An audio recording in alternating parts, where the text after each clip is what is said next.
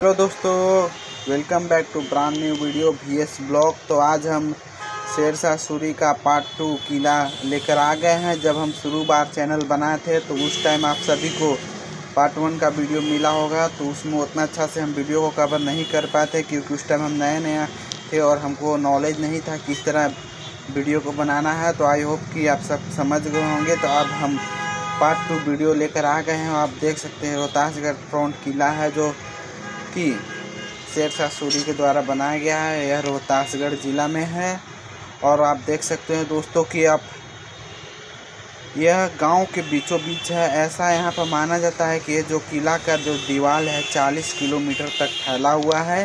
यानी घेरा इस पर बना हुआ है। और दोस्तों, आप सब देख सकते हैं कि आज पंद्रह में ये बनाया गया था। अभी तक दो हज़ार तेईस चल रहा अभी तक वैसा कि ही वैसा है।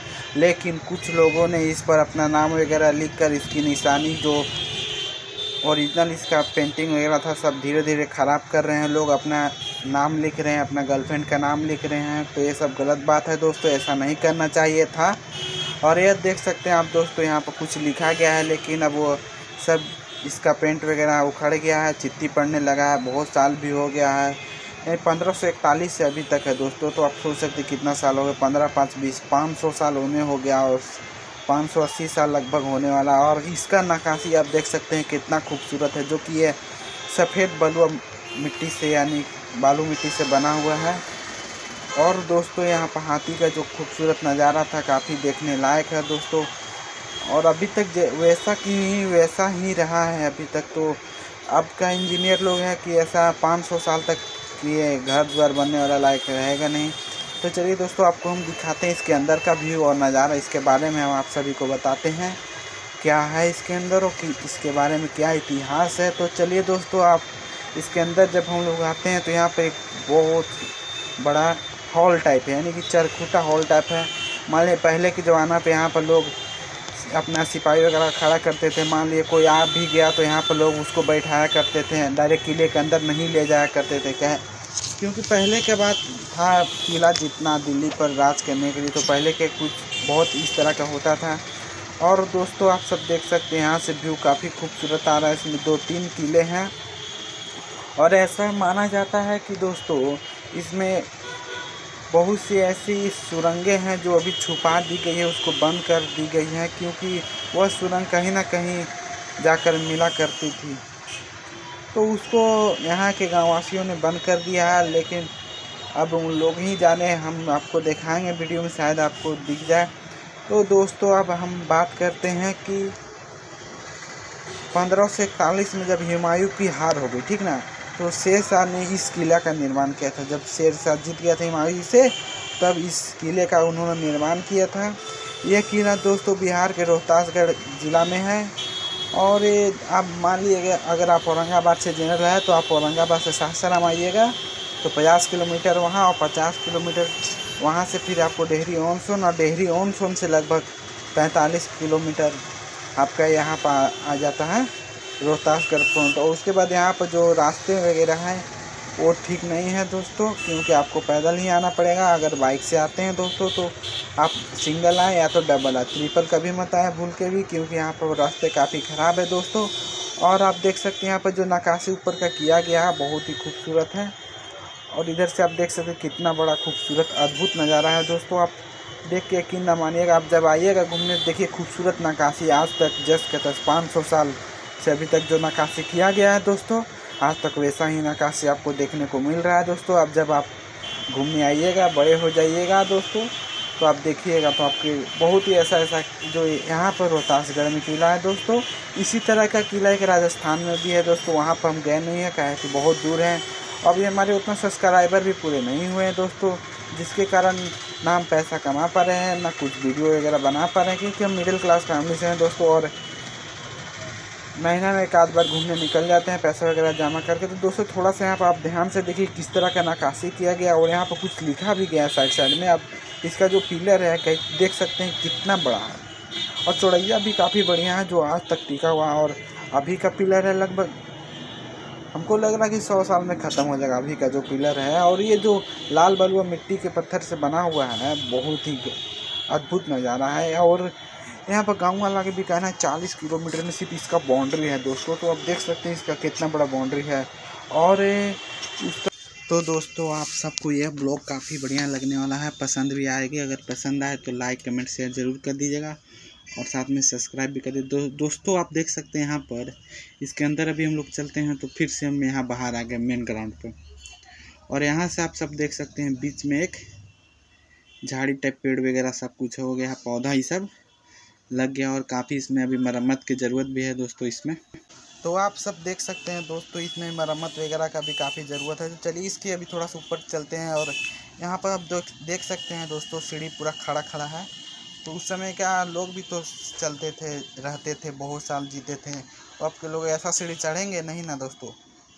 तो कुछ बात ऐसा ही हो जाता हूँ और अभी हम यकीन नहीं आ रहा है कि 500 साल 600 साल पुराना अभी तक किला जस की तस है थोड़ा बहुत इसमें मरम्मत की ज़रूरत है और नकाशी वगैरह आप देख सकते हैं कि जस के तस है इसमें थोड़ा सा ब्लैक टाइप हो गया, इसमें पेंट पेंट वगैरह हो जाएगा। तो फिर कि पहले की तरह यह चमकने लगेगा और यह इतिहास हमारे आने वाला पीढ़ी तक देखेगा। क्योंकि जो मुसलमान ने हमको भारत में दे के गया, इस तरह के किला आज तक कोई बना गया ही नहीं है। जो भी मुसलमान बनाए हैं, सब सिंगल किला बनाए हैं और ऐसा किला है। जो पर्यटक लोग घूमने के लिए आते हैं और यहाँ देखकर काफ़ी चकित हो जाते हैं। यार, देख सकते हैं आप दूर का व्यू कितना खूबसूरत और यहाँ पर जब सैनिक खड़ा होकर यहाँ से व्यू देख रहे हो कौन आ रहा है, कौन नहीं आ रहा है तो आप सब, यहाँ से माना जाता है कि दस किलोमीटर पर आपको साफ़ साफ़ दिखेगा खेत खेत, खलियान वगैरह सब कुछ दोस्तों। तो चलिए यहाँ से भी हम लोग दिखाते हैं आपको और अंदर चलते हैं। और देखिए, अभी दिन में इतना रोशनी आ रहा है। अब रात का समय था तो उस टाइम तो बिजली वगैरह नहीं रहता था। तो सोचो अब कैसे होगा? तो उस टाइम लैंप वगैरह जलता होगा। आप शायद जलाए होंगे तो याद होगा। और नहीं है तो फिर वो चंद्रमा का जो रोशनी है वह सीधा घर में आती हो क्योंकि इस तरह से इसको डिज़ाइन कंस्ट्रक्शन किया गया है दोस्तों की जैसे दिन में अभी आ रहा है, रोशनी उसी तरह रात में चंद्रमा का जो प्रकाश है, सीधा इसके अंदर आता होगा, रूम वगैरह में सब कुछ दिखता होगा दोस्तों। और इस तरह के देखिए काफ़ी खूबसूरत खूबसूरत नज़ारे भी हैं।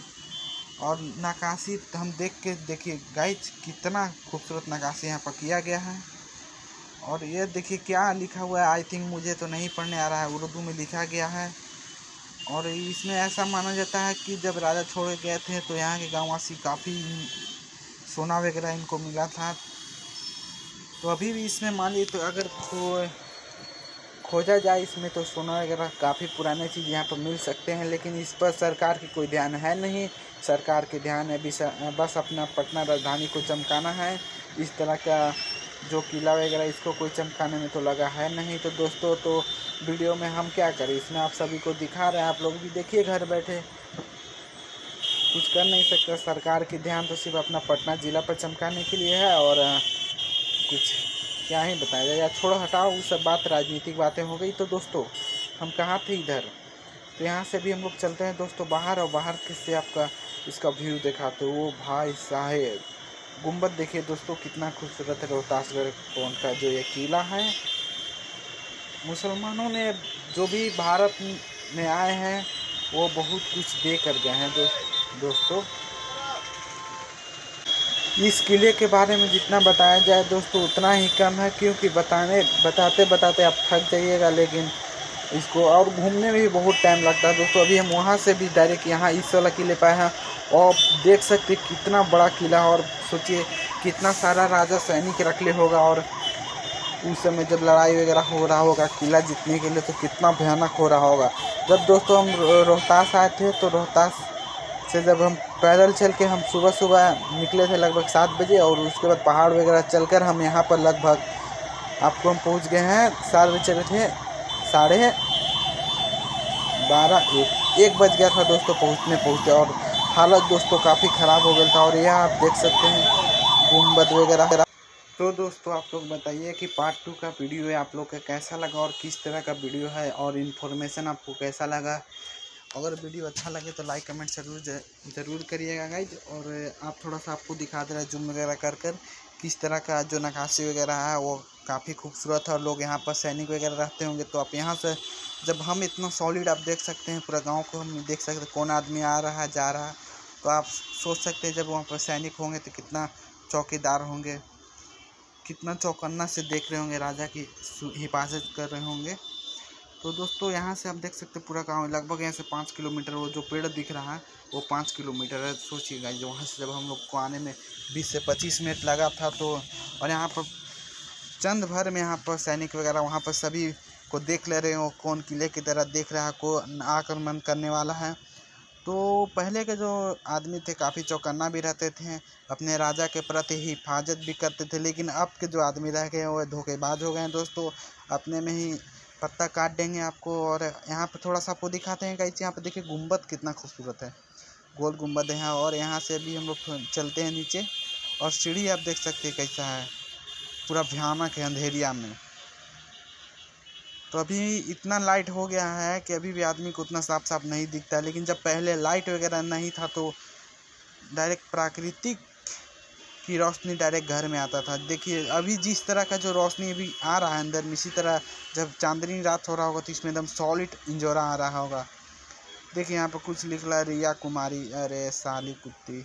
देख रहे हैं क्या क्या लिख रहे सब इस, सब दीवार को इन लोग ख़राब करके रख देगी और दोस्तों, इधर से आप देख ही सकते हैं, काफ़ी बढ़िया खूबसूरत नज़ारा है।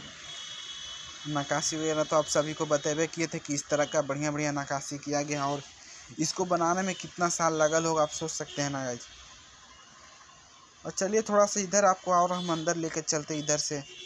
यहाँ पर अगर दोस्तों आप आ रहे हो तो आप अकेले नहीं आए, अपने दोस्तों के साथ आए, पहाड़ पर आ रहे हैं तो दोस्तों के साथ नहीं आए। और यहाँ पर थोड़ा सा देखिए, जेल टाइप है जो से क्या बोला जाता है, दरवाज़ा है इसमें कुछ टूटा फूटा है। तो गाइज़ यहाँ पर आई होप कि हमको लगता है किसी ने तोड़ के इसके अंदर से खजाना वगैरह जो दीवार में लगा होगा उसको उन लोगों ने निकाल लिया होगा, देखिएगा। यहाँ पर जो बड़ा बड़ा छेद वगैरह दिख रहा है, उसमें से खजाना निकाल लिया होता है यहाँ पर दोस्तों ऐसा माना जाता है कि यहाँ के राजा रात के समय रोते हैं।